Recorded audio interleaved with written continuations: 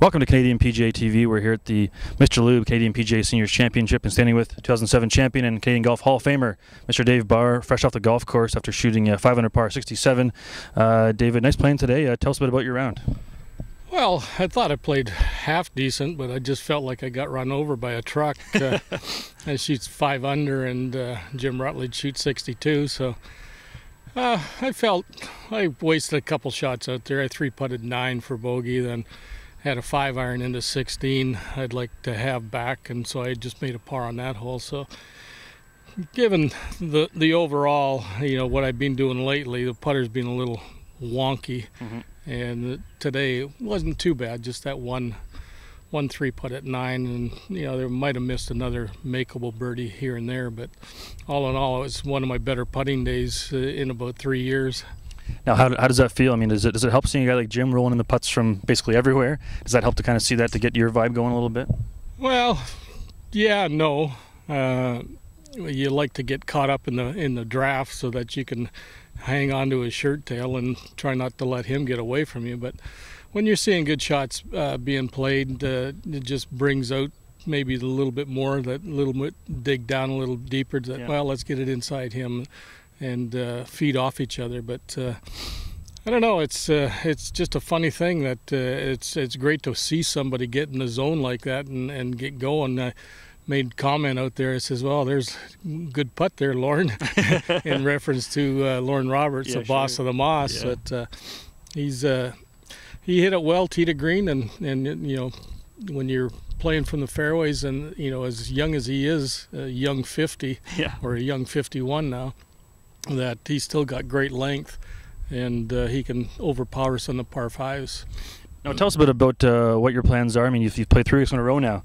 Uh, you got a spot in there in New York, and then over to Montreal, and now here. Uh, you said if you saw some results, you might go to Q School again this year. What, what's your plans right now? Right now, it's retirement.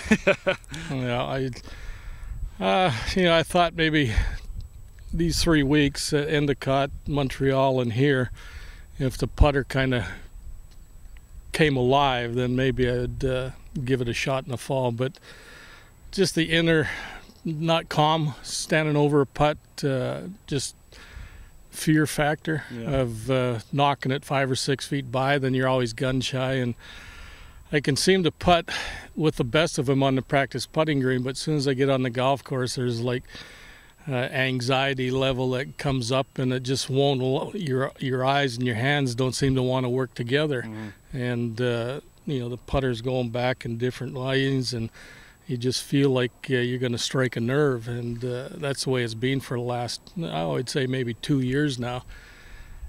You know, I'm hitting the ball good off the tee. I mean, last week in Montreal, I think it was uh, tied for first in greens and regulation, yeah, yeah. but I was 76th in putting of 77 guys. So that's not a good combination. And, you know, if you're going to play out there with some of the best in the world, that the putter needs to be going. And, and right now, I just I don't have any confidence. And uh, I, don't, I don't think I'll probably put an entry in. I mean, something drastic would have to happen.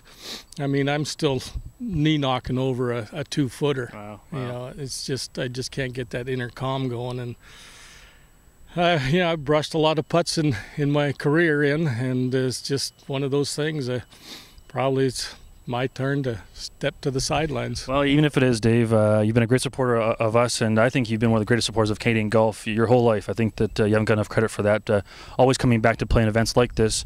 Um, do you feel like it's it's I don't want to say responsibility, but do you, do you, feel like you enjoy coming back to let some of the people from Canada see you play again, but also help uh, people like ourselves have events that get bigger and better? Yeah, I mean, this is where I got started. Played you know the Canadian Tour for four years, '74 through '77, and and then whenever I, I had the opportunity to come back, once I knew my uh, U.S. card was covered, I'd come back and play Canadian events, and it's just giving back to the game. Uh, you know, people that want to see some uh, Canadian guys play at the different uh, provincial opens and things like mm-hmm. that, and just come back and support the tournaments, and hopefully that you get corporate Canada involved. And I mean, it's great that Mr. Lube has stepped forward, and all the sponsors here this week uh, had a great pro am event here on Monday, and that we we get uh, that corporate support and. Uh, And if you get corporate support, then you might get and see more guys out on the tour. They, you know, they got to have a place to play to hone their games, and